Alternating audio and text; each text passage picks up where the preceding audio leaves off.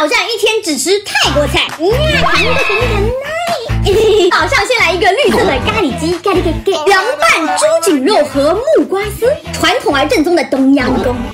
嗯，贼嫩哦，青咖喱比黄咖喱好吃。好吃你就多吃点儿。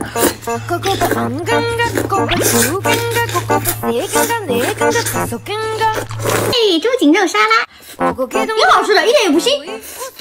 木瓜丝贼好吃，木瓜丝也很清爽。中午来个月亮虾饼，还有一个泰式无骨鸡爪，再来个椰子漱漱口。尝尝泰国老奶奶啃出来的鸡爪，确定吗？检验一下他们的牙口好不好？嗯，它的辣是比较爽口的那种辣，比较清新，但是口味偏酸。啊，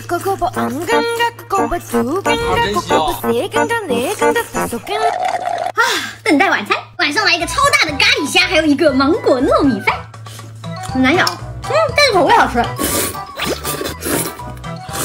好奇的困难挑战成功。